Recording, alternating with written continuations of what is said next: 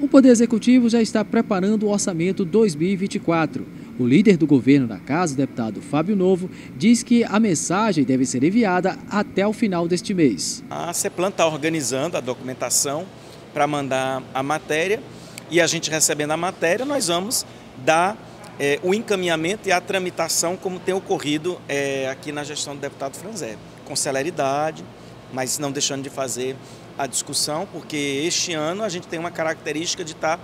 devolvendo as proposições de forma muito célere, tanto para a população, é, que é motivada aqui através dos deputados, como também através dos poderes constituídos, Ministério Público, Tribunal de Contas, é, Tribunal de Justiça, enfim. Assim que chegar aqui na casa, nós vamos trabalhar junto às comissões para que isso seja votado o mais rápido possível.